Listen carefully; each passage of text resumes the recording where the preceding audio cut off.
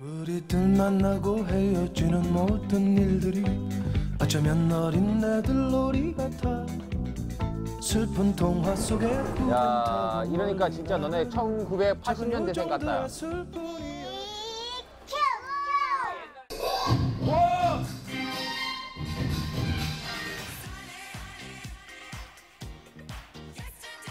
너네 나이트클럽 가면 환장하겠네 이제. 오 여기서 여기서 여기 껌까지 씹으면은 끝이야 끝.